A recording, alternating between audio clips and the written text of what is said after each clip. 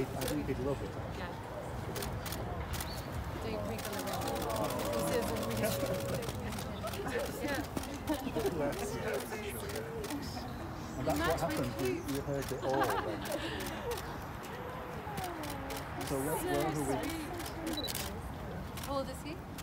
Ten weeks. Ten weeks. Two days. All these people. We don't develop them. No, please, go on. That's so sweet.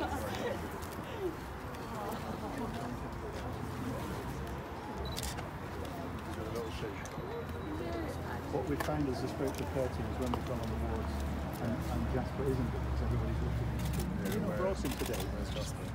He's on the day today. because The first up on the road. Just take his time. Because of the intensity of it. Yeah. And they do get tired. And when do you start doing training with them? So probably when it gets to about five months.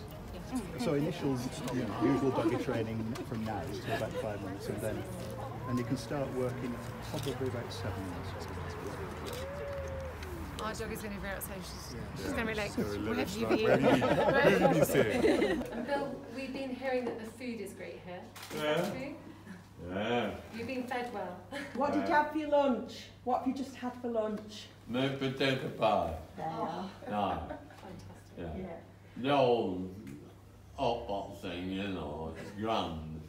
And uh, we all enjoy ourselves up here in a way, different from down yonder. Oh, aye. We've just been But we'd like you to come up more often. Definitely will. Love to be up there more often. On a beautiful day like today as well, with the sunshine. And that's Ah. Pendle Hill in the background. Is that where Bill?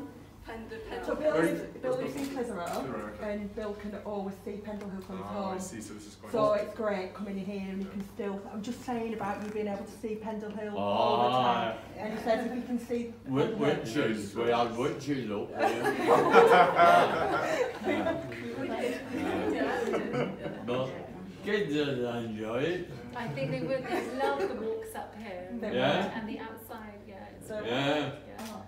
And of course, part of your family owned the land around here. Oh my goodness, you Ah. might know Okay. more about that. I'm going to have to come for a history lesson. Yeah, the bit of fishing and all sorts. Stunning up here. Yeah. Beautiful.